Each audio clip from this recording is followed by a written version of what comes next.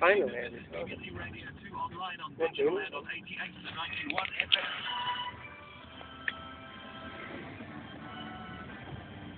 Score copies, this is Sam Godfrey.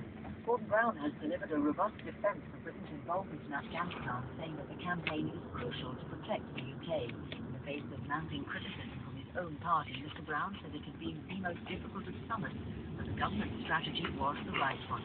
He also gave details of plans to speed up the training of Afghan forces.